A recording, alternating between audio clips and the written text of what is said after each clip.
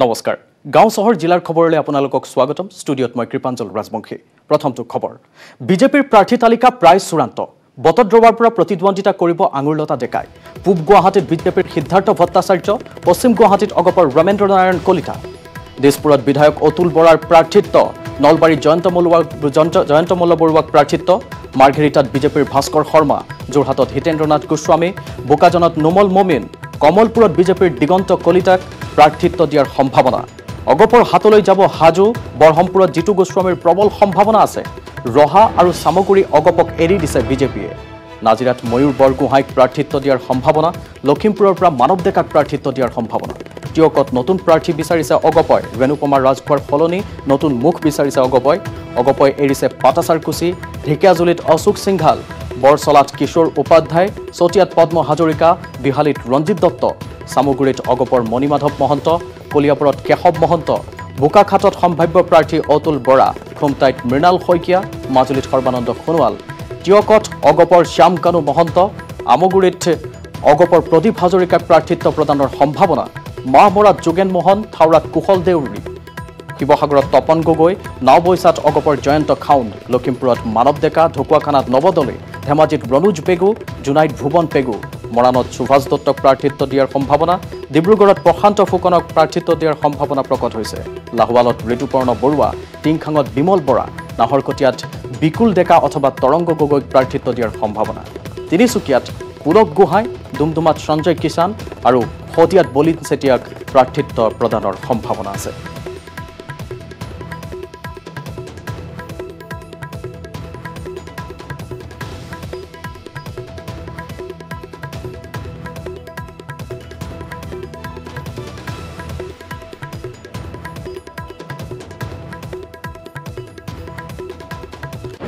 বিজেপিৰ প্ৰাৰ্থীৰ তালিকাৰ প্ৰায় চূড়ান্ত হোৱাৰ পথত আমি ইতিমধ্যে দৰ্শকক জনাইছোঁ। এই মুহূৰ্তত আমাৰ দিল্লীৰ পৰা আমাৰ এছ'চিয়েট এডিটৰ পাৰ্থজ্যোতি বৰা সংযুক্ত হৈছে ফোনযোগে ফোনযোগে সংযুক্ত হোৱা পাৰ্থৰ সৈতে আমি শেহতীয়া তথ্য ল'ম। পাৰ্থ এই সন্দৰ্ভত আপোনাৰ হাতত কি আছে খবৰ? আৰু কিছু সময়ৰ পিছতে ভাৰতীয় জনতা পাৰ্টীৰ যিখন নিৰ্বাচনী কেন্দ্ৰীয় নিৰ্বাচন কমিটিৰ বৈঠক সেই বৈঠকখন অনুষ্ঠিত হ'ব। ইতিমধ্যে বিজেপিৰ দিল্লীৰ মুখ্য কাৰ্যালয়ত বিজেপিৰ ৰাষ্ট্ৰীয় মুখ্য কাৰ্যালয়ত ইতিমধ্যে অসমৰ মুখ্যমন্ত্ৰী সৰ্বানন্দ সোণোৱাল উপস্থিত হৈছে আৰু কিছু সময়ৰ আগত অমিত শ্বাহ গৃহমন্ত্ৰী দেশৰ গৃহমন্ত্ৰী অমিত শ্বাহ উপস্থিত হৈছে আৰু অমিত শ্বাহে কেন্দ্ৰীয় নিৰ্বাচনী কমিটিৰ বৈঠকখনত অংশগ্ৰহণ কৰাৰ পূৰ্বে প্ৰধানমন্ত্ৰী নৰেন্দ্ৰ মোদীয়ে এখন বৈঠকত মিলিত হৈছিল।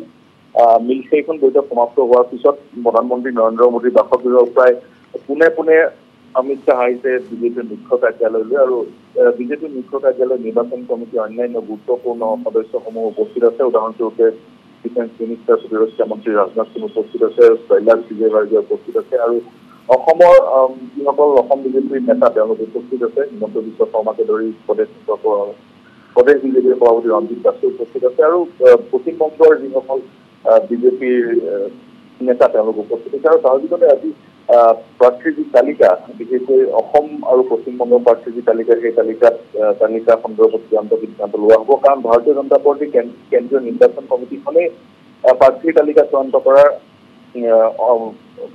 শেষৰখন শেষৰখন শেষৰখন কমিটি আৰু তেওঁলোকৰ হাততে এক্টিভ আছে প্ৰাৰ্থী তালিকা চূড়ান্ত কৰিবলৈ। ইতিমধ্যে আপুনি বহুকেইজন প্ৰাৰ্থীৰ নাম উল্লেখ কৰিছে। আজিৰ দিনটোতে অসমৰ প্ৰথম পৰ্যায়ৰ দ্বিতীয় পৰ্যায়ৰ যি নিৰ্বাচন সেই নিৰ্বাচনৰ প্ৰাৰ্থীৰ তালিকা চূড়ান্ত কৰাৰ সম্ভাৱনা আছে আৰু সচৰাচৰ দেখা পোৱা যায় নিৰ্বাচন কমিটিৰ বৈঠকৰ পিছত পাছত বিজেপি পিছত বিজেপিৰ মুখপাত্ৰই আহ, বিজেপিৰ ৰাষ্ট্ৰীয় সভাপতিগৰাকী এখন সংবাদমেল সম্বোধন কৰে আৰু এই সংবাদমেলতে তেওঁলোক তেওঁ- তেওঁ আহ, আমাৰ সংযোগ বিচ্ছিন্ন হৈছে পাৰ্থজ্যোতি বৰাৰ সৈতে। নিশ্চয়। আমি পুনৰবাৰ সংযুক্ত সংযোগ স্থাপন কৰিবলৈ চেষ্টা কৰিম। বিজেপিৰ প্ৰাৰ্থী তালিকা সন্দৰ্ভত তেওঁ এক বিশেষ কথা শেহতীয়া কথা কৈছে যে এইখনে হ'ব পাৰে শেষৰখন বৈঠক যিখন বৈঠকৰ পিছতে চূড়ান্ত হ'ব প্ৰা- বিজেপিৰ প্ৰাৰ্থী তালিকাখন।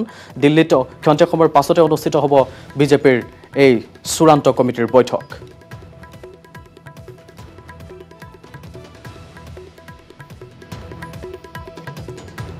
আনফালে ইতিমধ্যে সমাপ্ত হৈছে আসন বুজাবুজিক লৈ অগপ বিজেপিৰ আলোচনা। এই মন্তব্য কৰিলে ৰাজ্যিক বিজেপিৰ সভাপতি ৰঞ্জিত কুমাৰ দাসে।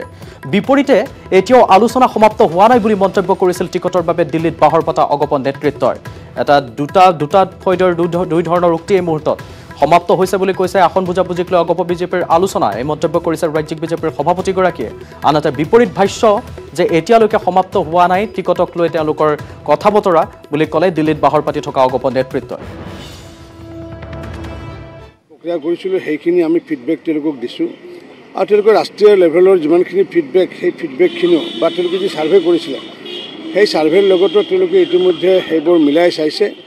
আৰু এইবোৰ মিলাই চোৱাৰ পিছত আনুষ্ঠানিকতা হিচাপে পাৰ্লিয়ামেণ্টাৰী বৰ্ডত যিখন সভা হ'ব সেইখিনি আমাৰ হয়তো চূড়ান্ত হ'ব। আৰু চূড়ান্ত হোৱাৰ পিছত আজি ঘোষণা কৰে নে কাইলৈ ঘোষণা কৰে সেইটো তেওঁলোকৰ ওপৰত। নাই নাই নাই ক'তো আউল লগা নাই। ইতিমধ্যে তেওঁলোকৰ লগত ইউ পি পি এলৰ লগত চূড়ান্ত কথা হৈছে। কিন্তু আনুষ্ঠানিকভাৱে যিহেতু তিনিওটা দলে একেলগে এই বিষয়ে এখন প্ৰেছ কনফাৰেঞ্চ কৰিব লাগিব গতিকে সেইটো হয়তো কাইলৈ হয়তো কৰি পেলাই এইটো এইটো হয় বিজেপিৰ ৰাষ্ট্ৰীয় সভাপতি নহয়তো অসম গণ পৰিষদৰ কেন্দ্ৰীয় সভাপতি বা ইউ পি পি এলৰ কেন্দ্ৰীয় সভাপতিয়ে ক'ব পাৰে। নহয় নহয় আমাৰ যিমানখিনি কৰিবলগীয়া আছিলে আমাৰ যিমানখিনি কৰিবলগীয়া আছিলে আমি সম্পূৰ্ণ কৰিলোঁ। কিন্তু সকলোবোৰ সকলোবোৰ হেৰি কৰিছোঁ সেইটো যি ক'ব লগা আছে সেইটো অসম গণ পৰিষদৰ সভাপতি ক'ব আৰু আমাৰ বিজেপিৰ ৰাষ্ট্ৰীয় সভাপতি খবৰ এইবাৰ কংগ্ৰেছ মহলৰ। টিকট ভাগ বটোৱাৰাক লৈ অব্যাহত আছে কংগ্ৰেছ নেতৃত্বাধীন মহাজোঁটৰ বৈঠক। কেইটামান দলৰ সৈতে সমাপ্ত হৈছে বৈঠক। আন কেইটামান দলৰ সৈতে এতিয়াও চলি আছে আলোচনা। এই মন্তব্য কৰিলে প্ৰদেশ কংগ্ৰেছৰ সভাপতি ৰিপুণ বৰাই। মিত্ৰ দলৰ লগত আমাৰ বৈঠক চলি আছে। কেইটামান দলৰ লগত হৈছে আৰু কেইটামান দলৰ লগত এতিয়াও হ'বলৈ বাকী আছে। চলি আছে বৈঠক। আৰু বৈঠক যেতিয়া সম্পূৰ্ণ শেষ হ'ব শেষ হ'লে আমি অফিচিয়েলি আমি আপোনালোকক জনাম অসম জাতীয় পৰিষদৰ কোন নেতাই প্ৰতিদ্বন্দ্বিতা কৰিব কোন সমষ্টিত? তালিকা ৰাজহুৱা হোৱাৰ পূৰ্বে নিউজ এইটিন এৰ হাতত পৰিছে এ জে পিৰ প্ৰথমখন প্ৰাৰ্থী তালিকা। এ জে পিয়ে ক'ত কাক দিব টিকট? ক'ত নিৰ্বাচন খেলিব লুৰিণ জ্যোতিয়ে কাইলৈ ঘোষণা প্ৰাৰ্থীৰ তালিকা। তালিকা প্ৰায় সাজু। দল গঠন কৰাৰ পিছতে প্ৰথমটো নিৰ্বাচনৰ মুখামুখি হ'ব অসম জাতীয় পৰিষদ। ইতিমধ্যে এখন পৰ্যায়ৰ নিৰ্বাচনৰ প্ৰাৰ্থী সাজু কৰিছে এ জে পিয়ে সেইমৰ্মে দুলীয়াজানত লুৰিণজ্যোতি গগৈ সৰুপথাৰত ৰাজু ফুকন নাহৰকটীয়াত চন্দন সন্দিকৈ ধেমাজিত চিত্ত বসুমতাৰী মাহমৰাত মানিক গগৈ মৰাণত ৰাফেল কুজুৰ শদিয়াত জগদীশ ভূঞা টিয়কত ৰাণা চাংমাই আৰু লখিমপুৰত লাকিমণি বৰুৱা। অৱশ্যে এই পৰ্যন্ত আন কেইবাটাও সমষ্টিত নিৰ্দিষ্ট হোৱা নাই প্ৰাৰ্থীৰ তালিকা। কেইবাটাও সমষ্টিত প্ৰাৰ্থী প্ৰক্ষেপ কৰিব ৰাইজৰ দলে। কাইলৈ অসম জাতীয় পৰিষদে প্ৰাৰ্থীৰ নাম আনুষ্ঠানিক কৰাৰ ঘোষণা কৰিলেই স্পষ্ট হ'ব প্ৰকৃত ছবিখন। Bureau' report news eighteen Assam north east. আসন বুজাপুৰাক লৈ মহাজোঁটত তুমুল জোঁট। হোটেল গেটৱেত বৈঠকত মিলিত হোৱাৰ পাছত ওলোৱা নাই সমাধান সূত্ৰ। দিছপুৰ সমষ্টিৰ আঞ্চলিক গণমৰ্চাক এৰি দিয়াৰ পাছত অকণ বৰাৰ সমৰ্থকৰ উত্তাল প্ৰতিবাদ। মহাজোঁটত আৰু অধিক দলে অন্তৰ্ভুক্তিৰ ইংগিত সাংসদ আব্দুল খালেকৰ।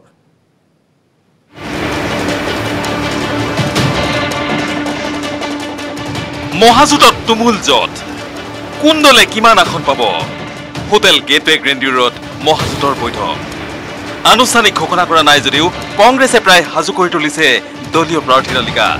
কিন্তু এই পৰ্যন্ত বিৰোধী মিত্ৰ দলসমূহতে হোৱা নাই আসনৰ চূড়ান্ত ভাগ বাটোৱাৰা ইয়াৰ মাজতে মৰিগাঁও গোলকগঞ্জ আৰু দেৰগাঁও আসন চি পি আই প্ৰতিদ্বন্দ্বিতা কৰিব বুলি দাবী চি পি আই নেতা মুনীন মহন্তৰ।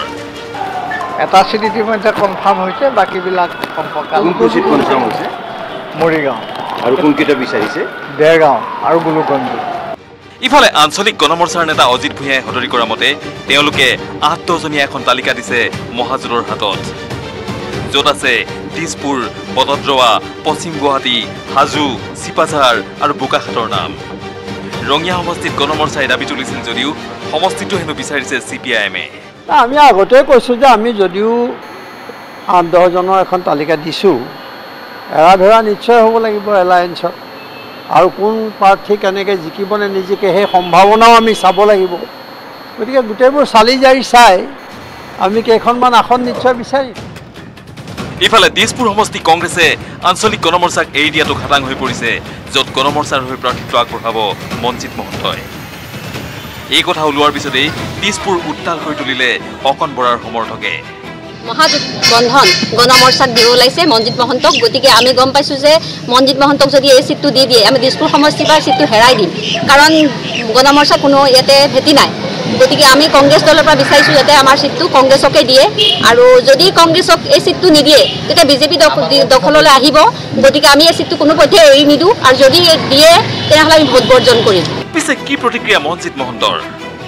এইটোৱে মোক এইটো কৈছে যে মানুহ তিক্ততাত ভুগিছে। দিছপুৰ সমষ্টিৰ আগৰ যিসকল বিধায়ক আছিলে মন্ত্ৰী আছিলে আৰু সমষ্টিটোৰ কোনো উন্নয়ন হোৱা নাই আচলতে। গতিকে মানুহখিনি তিক্ততাত ভুগিছে অতিষ্ঠ হৈছে আৰু তেওঁলোকে সঁচাকৈ কাম কৰা নতুন মানুহ বিচাৰিছে। আৰু সেইটোৱে মই আশা সেইটোৱে মোৰ কেপিটেল মূল মহাজোঁটে চৰকাৰ গঠন কৰিবলৈ টঙালি বান্ধিছে যদিও এতিয়াও চিঙা নাই জত ইফালে কংগ্ৰেছ সাংসদ আব্দুল খালেকে মহাজোঁটত ৰাজনৈতিক দল আৰু বৃদ্ধি পাব বুলি তাৎপৰ্যপূৰ্ণ মন্তব্য আগবঢ়াইছে। কিন্তু অখিল গগৈ দিয়া পত্ৰ সন্দৰ্ভত গণমৰ্চাৰ অজিত ভূঞাৰ প্ৰতিক্ৰিয়া। অখিলৰ চিঠিৰ কথা একেবাৰে অমূলক। হঠাৎ অখিল গগৈ এই মানসিক পৰিৱৰ্তন কিয় হ'ল? এই প্ৰশ্নটো চাৰিওফালে উত্থাপিত হৈছে। তেওঁ হয়তো বাহিৰত কি হৈছে কিমান দূৰ জানে মই নাজানো। কিন্তু তেওঁ যিটো কথা কৈছে এইটো এটা অপৰিপক্ক চিন্তাৰ পৰিচায়ক। আৰু যিটো পৰ্যায়ত তেওঁ এই কথাটো কৈছে ইতিমধ্যে বিৰোধীসকল যথেষ্টখিনি আগবাঢ়িছে। বৃহস্পতিবাৰে নিশালৈ তিনিওটা বামপন্থী দল আঞ্চলিক গণমৰ্চা আৰু এ আই ডি এফে আসন বুজাপৰাক লৈ পৃথকে বৈঠকত মিলিত হ'ব। অৱশ্যে এই বৈঠকত নাথাকে কংগ্ৰেছ আৰু বি পি এফ দল। Bureau report news eighteen Assam north east. বচাও অভিযানৰ লগত ওলমিল টাইৱানৰ চাহ বাগিচাৰ ফটো। কংগ্ৰেছে চিনি নাপায় অসমীয়া মানুহৰ মুখ। প্ৰদেশ কংগ্ৰেছৰ সাংঘাতিক ভুলৰ অভিযোগ তুলি মন্ত্ৰী হিমন্তই এৰিলে টুইট খেল। হিমন্তৰ অভিযোগ খণ্ডন চাহ জনগোষ্ঠীয় নেতা এটুৱা মুণ্ডাৰ।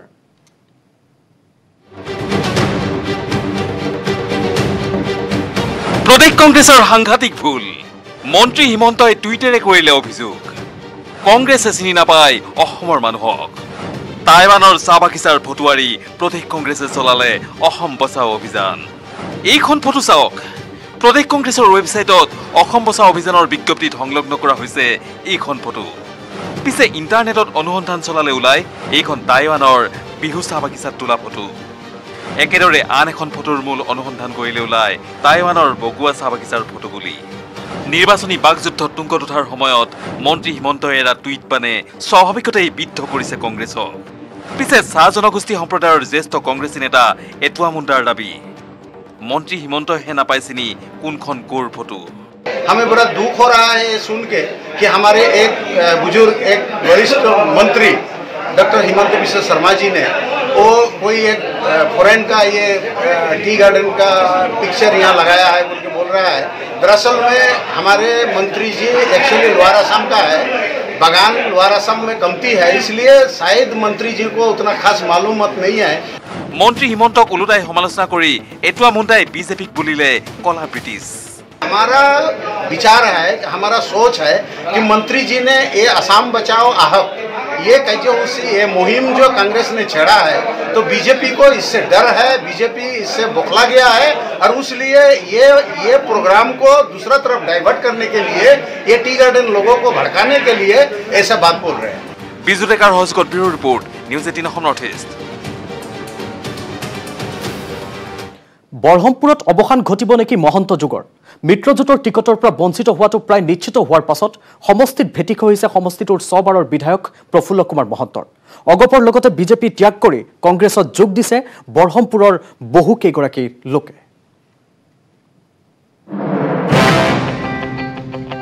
বৰহমপুৰত মহন্ত যুগৰ অৱসানৰ উপক্ৰম। ছবাৰৰ বিধায়ক প্ৰাক্তন মুখ্যমন্ত্ৰী প্ৰফুল্ল কুমাৰ মহন্তই এইবাৰ নাপাব টিকট। মিত্ৰ দলৰ টিকটৰ পৰা বঞ্চিত হ'ব বুলি খবৰ ওলোৱাৰ লগে লগে বৰহমপুৰত এলাগি হৈছে এইমছত চিকিৎসাধীন হৈ থকা প্ৰফুল্ল কুমাৰ মহন্ত। সমষ্টিটোৰ ছবাৰৰ বিধায়ক মহন্তৰ গাত ছাৰ দৰে লাগি থকা কৰ্মীয়ে অগপ এৰি যোগ দিছে কংগ্ৰেছত। জইন কৰিবলগীয়া এটাই হ'ল কাৰণ আজি পঁয়ত্ৰিছ বছৰে আমি মহন্ত ছাৰক ভোট দি আছিলোঁ। আমাক জনসাধাৰণক ফাঁকি দি মুখত এটা পেটত এটা। আমি প্ৰাৰ্থী যাৰ দ্বাৰা আমি উপকৃত হ'ব পাৰোঁ। আমাৰ স্থানীয় ব্ৰহ্মপুৰ সমষ্টি উন্নয়নৰ কাৰণে কংগ্ৰেছৰ প্ৰাৰ্থী সুৰেশ বৰাদেৱক আমি জয়যুক্ত কৰিম বুলি আমি আজি কংগ্ৰেছত যোগদান কৰিছোঁ। পাছ পৰি নাথাকিল পুৰণি বিজেপি কৰ্মীও। বছৰ বছৰ ধৰি বৰহমপুৰত পদুম ফুলোৱাৰ চেষ্টা কৰি থকা একাংশই ন বিজেপিৰ বিৰুদ্ধে ক্ষোভ উজাৰি যোগ দিলে কংগ্ৰেছত। মই ভাৰতীয় জনতা পাৰ্টীত আছিলোঁ। কামপুৰত যেতিয়া ভাৰতীয় জনতা পাৰ্টীৰ কোনো হেৰি নাছিলে ঘৰে ঘৰে গৈ পাঁচটকীয়া সদস্য বনালোঁ আৰু প্ৰতিজনে এহেজাৰ এহেজাৰ কৰ্মী আমি মোবাইলত সদস্য ভৰ্তি কৰালোঁ। লোকসভা ইলেকশ্যনত বিজেপি চৰকাৰ আহিলে কংগ্ৰেছৰ একাং একাংশই আহি পেলাই সেই বিজেপিত যোগদান কৰি গোটেই দলৰ পুৰণা কৰ্মীখিনিৰ অস্তিত্ব নাইকিয়া কৰি দিলে। ত্ৰিশ বছৰে বৰহমপুৰত চলি আহিছিল মহন্ত ৰাজ। দুবাৰৰ মুখ্যমন্ত্ৰী তথা বৰহমপুৰৰ ছবাৰৰ বিধায়কগৰাকীক এইবাৰ ৰণত পেলাবলৈ উঠি পৰি লাগিছে কংগ্ৰেছৰ সম্ভাৱ্য প্ৰাৰ্থী সুৰেশ বৰাই। সমষ্টিৰ ৰাইজৰ দুখ দুৰ্দশা দেখি হতাশ হোৱাৰ কথা কৈ কংগ্ৰেছ নেতাগৰাকীয়ে আদৰিলে অগপ আৰু বিজেপি কৰ্মীক।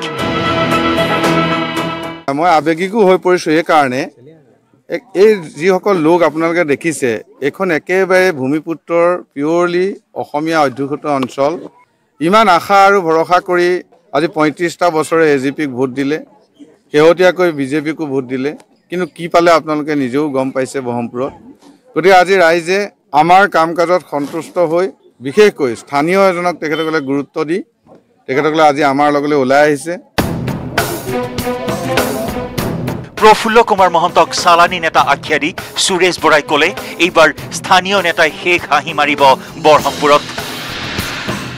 নাম নোলোৱাকৈ বিজেপিৰ চৰ্চিত সম্ভাৱ্য প্ৰাৰ্থীকো চালানী নেতা আখ্যা সুৰেশ বৰাৰ। এইবাৰ প্ৰফুল্ল মহন্ত ডাঙৰীয়া বুলিয়েই নহয় মুঠতে এইবাৰ ৰাইজে স্থানীয় মানুহক গুৰুত্ব দিছে। আগতে মানুহে ইমান কথাবিলাক বুজি পোৱা নাছিলে। গতিকে আমি দেখিছোঁ বিজেপিটো দুজন মানে আপোনাৰ টিকেটৰ কাৰণে খুব হাবিয়াস কৰি আছে। প্ৰায়কেইজনে কিন্তু ব্ৰহ্মপুৰৰ তেওঁলোক স্থানীয় নহয়। আৰু মহন্ত ডাঙৰীয়াটো নহয়েই স্থানীয়।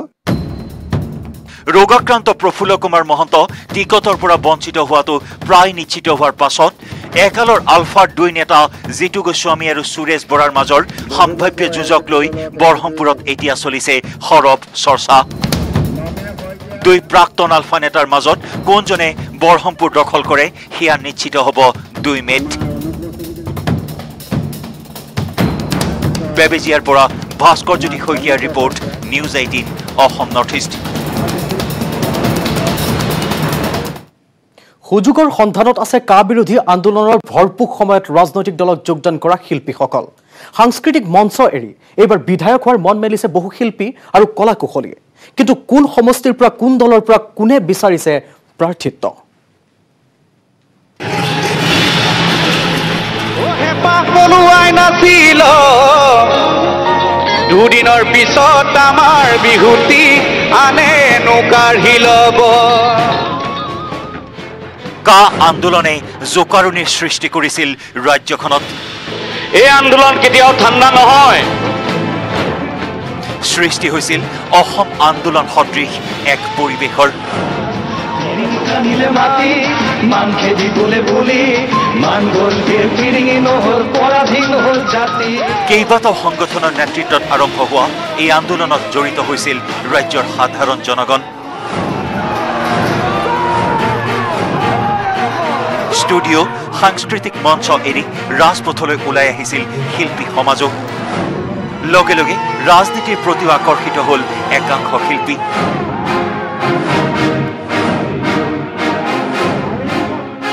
বহু কলা কুশলীয়ে কাৰ প্ৰতিবাদৰ গইনালৈ যোগ দিলে কংগ্ৰেছত। আন বহুতে আকৌ বিজেপিৰ সংগ ললে। ফুলাম গামোচা পিন্ধাই তেওঁলোকক আদৰিলে শাসক বিৰোধী দুয়োটা দলে। প্ৰতিশ্ৰুতি দিলে টিকট দিয়াৰো এতিয়া নিৰ্বাচন সমাগত। কিন্তু কোন শিল্পীয়ে ক'ত পাব টিকট? অগপ বিজেপি কংগ্ৰেছে দিবনে ticket?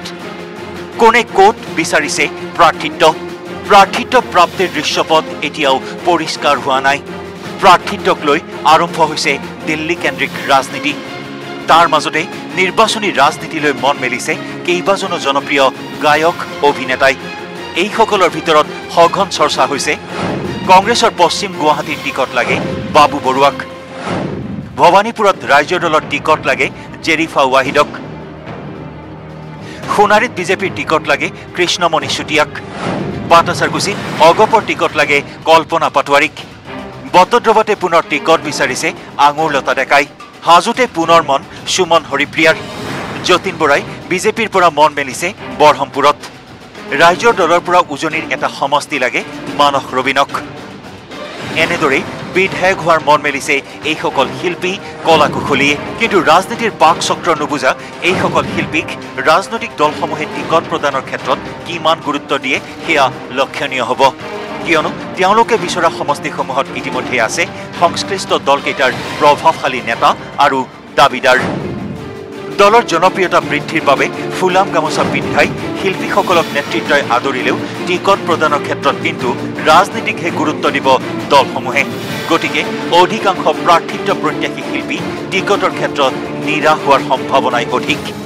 Bureau' report news eighteen Assam north east.